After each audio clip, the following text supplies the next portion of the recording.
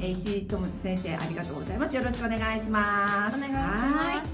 先生はどうしてマスタークラスピアノ形式マスタークラス入ったんですか？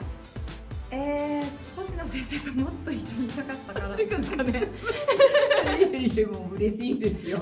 本当に。楽しかったですよねマスタークラスね。楽しかったし、頭が沸騰しました なるほどなるほど。ままあ今ちょっとねちらっとおっしゃったんですけどマスタークラスの授業内容どうでした？難しかったです。うん。すごく難しかった。うん。でもなんかこうあれですか？ややりがいというかそういう感じはありました？うんかなりありました。ああのー、なんだろうな。普通の会社の方がやってるようなことをやってる ピアノの先生たちの集まりなのですごいなと。すごいなと。かなりねレベルなあねレベルアップな内容でした。ね、うんそうでしたはい、まあ、でそういったことで素晴らしい成果を上げられたんですけどもしよかったらご紹介いただければと思います、えー、とまず収入面で1年前の今頃と比べた時に2倍。になりましたおめでとうございます。なんかそこら辺のサラリーマンよりはもしかしたら撮ってるかも取ってるかもしれない。いいですね。リッチピアノ先生になりましたよ。素晴らしいです。あとね、まあ、途中ですごいねびっくりな経験をなさって、よかったら紹介していただければと思うんですけど。えー、とテレビでえーとうちの音楽教室が紹介されました。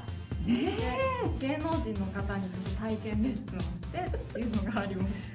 どうですか。テレビ出ちゃいましたよ。出ました出ねましたよねやっぱテレビ出た後の影響って感じましたか？うんもうあの電話での問い合わせが止まらなかったですね。なるほど。地域でね有名な教室になっちゃいましたよね。おかげさまでありがとうございます。はい。でマスタークラスの魅力はどんなものだと思いますか？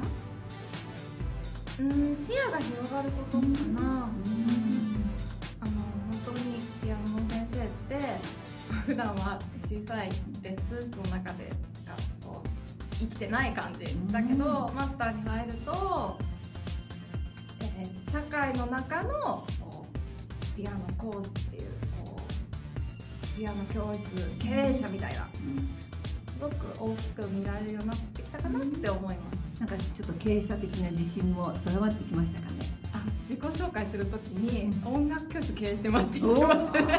素敵です。それで自信もね自然とね身につかれて本当にどうもありがとうございました。ありがとうござい